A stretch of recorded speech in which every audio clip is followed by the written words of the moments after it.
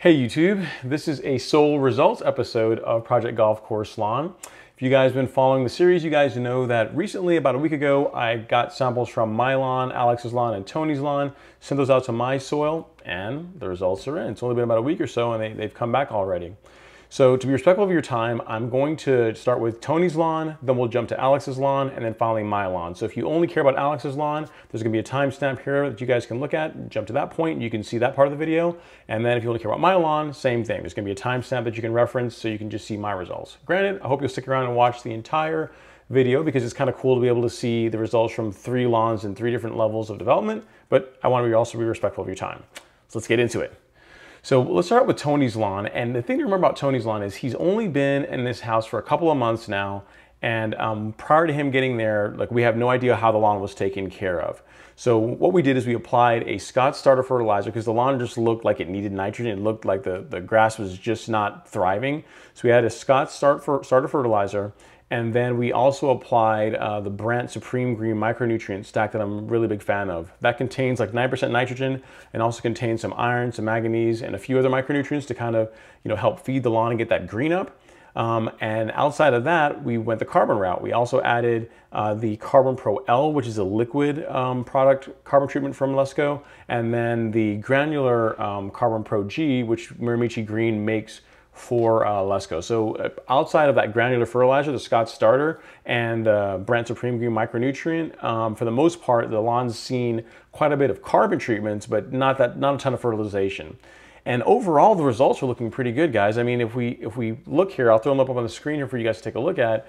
Um, the, you know, this nitrogen is now where it needs to be. The phosphorus looks good. His potassium is a touch low, but that's good to know because we haven't done his fall fertilization as yet. So we'll make sure that whatever we put down on his lawn contains a potassium component to, to bring that up.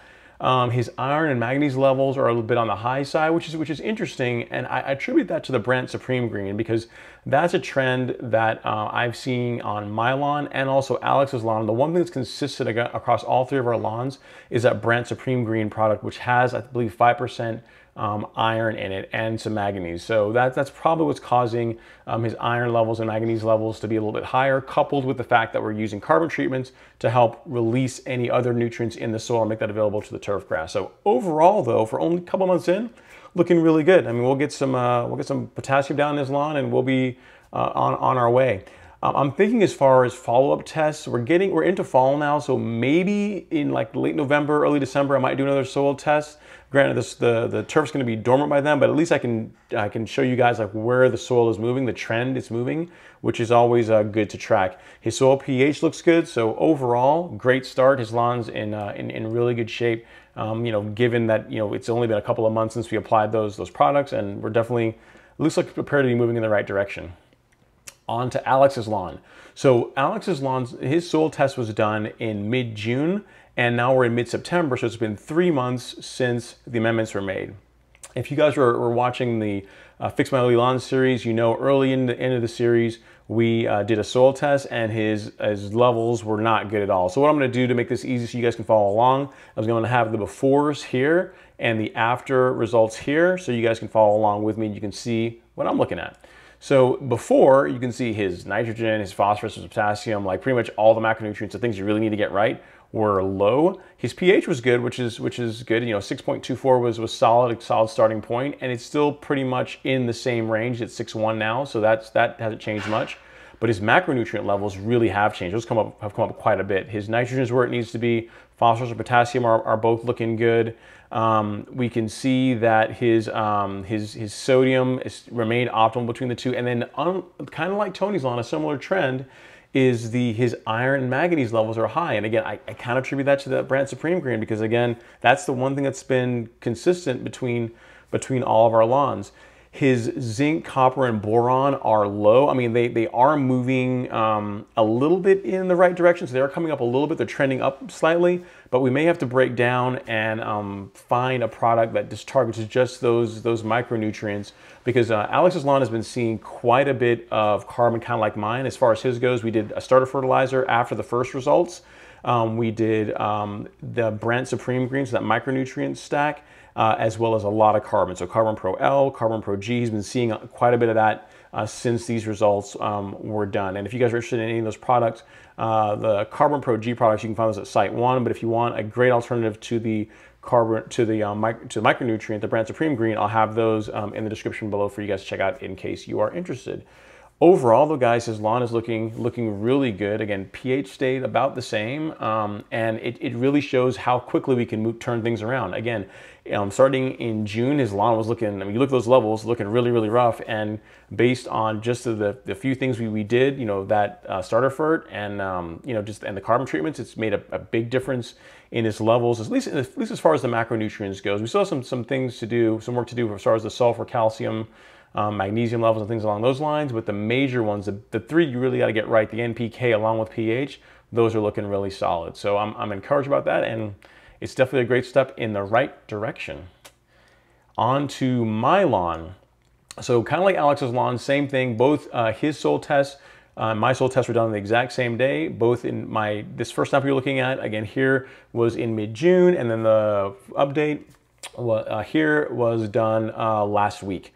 So three months between the samples and we can see the changes that we're looking at. Overall, my pH has trended up slightly. Uh, nitrogen levels look good, but my phosphorus has gone up some, which is interesting. And, and here's, that's an interesting point, guys, because uh, I haven't added any fertilizers to my lawn that contain phosphorus at all, but one thing I have been doing is a lot of the carbon treatments. So the Carbon Pro G, Carbon Pro L. Um, I've been also trying out some of these um, fertilizers, these um, soil amendments from Mirimichi Green. I, I tried out uh, this guy, the Release Zero, which is 10% micronized carbon along with the, uh, the 901C from Mirimichi Green, also containing 10% micronized carbon. So I've done a lot to the lawn to help really, you know, the, I guess the term is liquid aerate, uh, to really free up a lot of the, um, the, the elements and the nutrients that are in the in the soil to make them available to the uh, to the turf grass. And I think the the high um, uh, phosphorus levels that we're seeing is a symptom of that because I haven't added any fertilizers that, or haven't used any fertilizers that contain phosphorus specifically uh, since June. And you can tell my, my levels have, um, have gone up quite a bit um, from then to now, which is, which is kind of interesting. My uh, iron and manganese levels are high. They are higher than, than they were in, um, in June. I attribute that again to the Brandt Supreme Green. Iron has really taken off. Uh, you know, I was at 24.59 um, in June, and now I'm at 53, which is, uh, you know, it's a, that's a huge jump. So I, I, may have to switch away from that Brandt Supreme Green um, for the, the, the product, the fertilizer that I use along with T-Nex. Because you guys know I, I tend to like to use that product monthly whenever I put my PGR down to prevent the yellowing that T-Nex tends to, to cause. But uh, the last thing my lawn needs really is, is more iron. So I may have to end up switching to something like this, to the 901C, which contains um, you know that that nitrogen hit to kind of keep the keep the lawn green when I put the T-Nex down without introducing um, any more iron because Lord knows I don't need any more iron in my lawn. Let's see. Oh, the zinc has come up, which is also nice. So uh, I haven't added anything that contains, that addresses zinc specifically, but it's kind of cool that, again, by applying a lot of those carbon treatments, by doing the liquid aeration um, and allowing, uh, you know, the, the soil to free up and, and provide what's in it to the, to the turf grass, um, my zinc levels will come up quite a bit. But I, I think eventually we're going to have to break down and find something to target that zinc, copper, and boron to truly get those levels um, uh, where they need to be.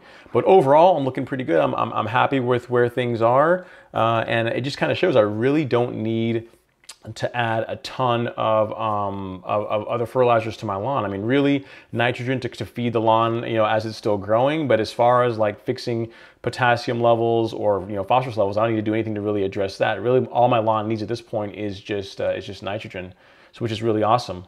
So guys, I hope you found this useful. Uh, you know, it's really cool to see uh, three lawns, three soil tests, three soil test results, and uh, overall, they're all definitely trending uh, the right way, in, in, my opinion. That's the thing with soil testing, right? So you, you typically can't fix everything all in one go. I mean, Alex's lawn made a huge improvement from June to now, both visually and also based on the soil test results.